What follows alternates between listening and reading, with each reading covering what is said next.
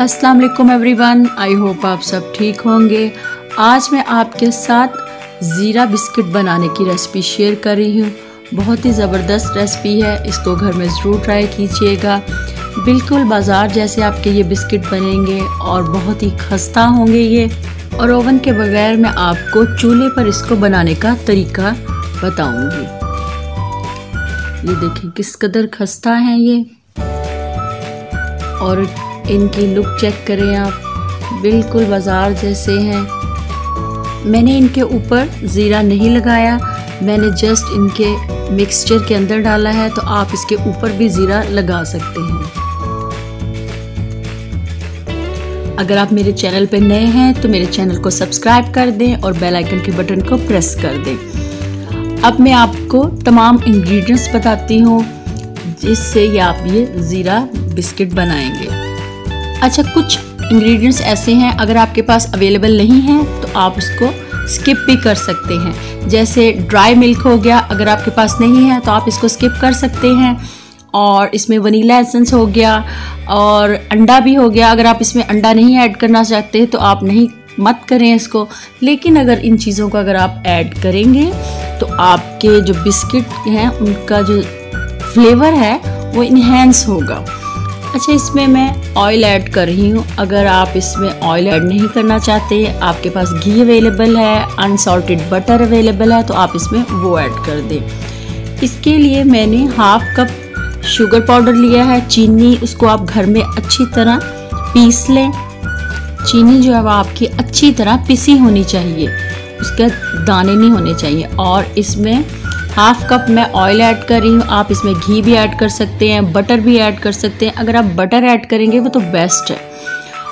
क्योंकि उससे जो बिस्किट हैं, वो आपके मुँह में इस तरह घुलेंगे सॉफ्ट होंगे मुँह में।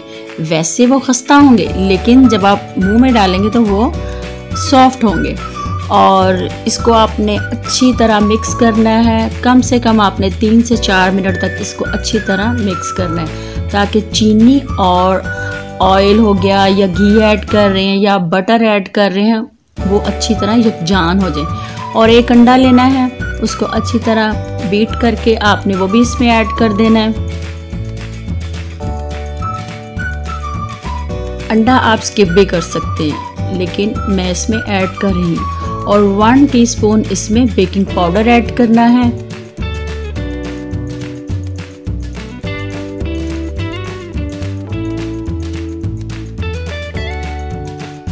और हाफ़ टी स्पून इसमें वनीला एसेंस इससे ज़रा इसमें खुशबू अच्छी आएगी। अगर आपके पास नहीं है तो आप इसको स्किप भी कर सकते हैं।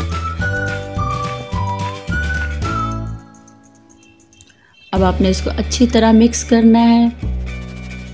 मिक्सिंग आपकी बहुत अच्छी तरह होनी चाहिए, ताकि इसमें लम्ब्स ना हो।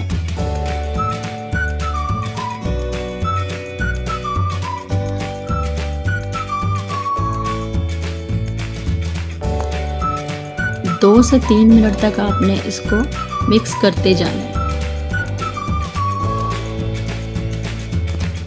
और अब इसमें ऐड करेंगे one tablespoon dry milk powder अगर आपके पास नहीं अवेलेबल तो ये आप ऑप्शनल है, आप ऐड ना करें, लेकिन इससे ज़रा बिस्किट्स का जो फ्लेवर है, वो अच्छा हो जाता है। और वन टेबल स्पून इसमें ज़ीरा ऐड करूँगी और हाफ़ टी स्पून इसमें सॉल्ट ऐड करना है आपने।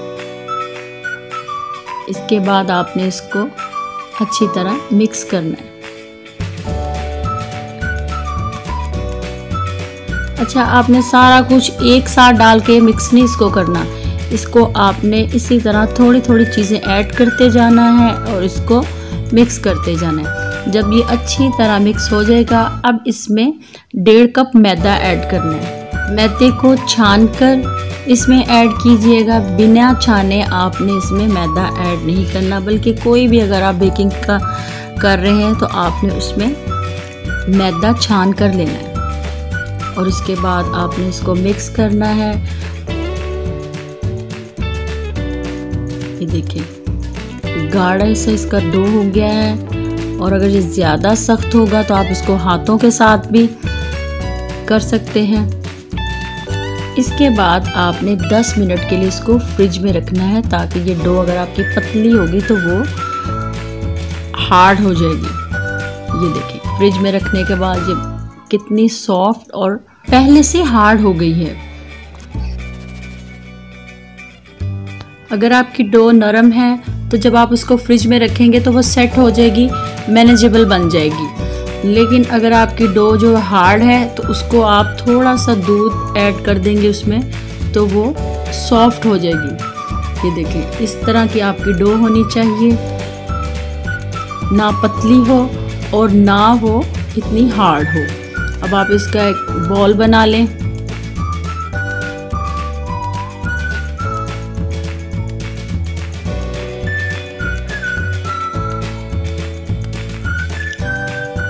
थोड़ा सा आप इसमें मैदा स्प्रिंकल करें और और जो आपने जो पेड़ा बनाया है उसको रोलिंग पिन के साथ इसको रोल करें।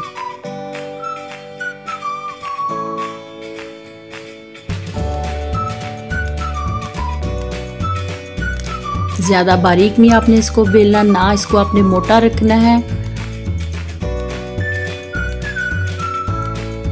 और किसी भी कटर के साथ आप इसको राउंड शेप में बनाना चाहते हैं तो राउंड में बना लें। अगर आप इसके हार्ट शेप में बनाना चाहते हैं तो हार्ट शेप में बना लें। अगर आपके पास कुकीज़ कटर हैं तो आप उसको भी यूज़ कर सकते हैं।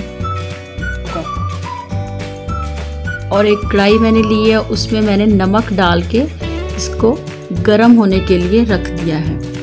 और बर्तन आपने ऐसा लेना है जिससे जो हीट जो है वो इसकी बाहर ना निकले। ये आपने मेन पॉइंट याद रखना है कि इसकी हीट बाहर नहीं आनी चाहिए, ये देखें। इसको बेलने के बाद आप शेप्स जो है अपनी मर्ज़ी के मुताबिक दे सकते हैं और थोड़ा सा मैंने मैदा जो है वो स्प्रिंकल कर दिया है। आप ऑयल भी लगा सकते हैं। 10 से 15 मिनट आपने इसको नमक डाल के अच्छी तरह प्री हीट कर लेनी है कढ़ाई। फिर उसके बाद जब आपने ये ट्रे रखनी है, फिर आपने फ्लेम जो है वो स्लो कर लेनी है। और 30 मिनट्स तक आपने इसको पकाना है, लेकिन 20 मिनट के बाद आपने इसको चेक ज़रूर करना है। ये देखिए, बिस्किट्स जो हैं वो तैयार हो गए हैं। पहले ये नरम होंगे, लेकिन ठंडा होने के बाद ये सख्त और खस्ता हो जाएँगे। चाय के साथ इसको इंजॉय करें। बच्चों की ये बहुत फेवरेट रेसिपी है। अगर आपको मेरी रेसिपीज़ अच्छी लगे तो मेरे चैनल को सब्सक्राइब कर दें और बेल आइकन के बटन को प्रेस कर दें।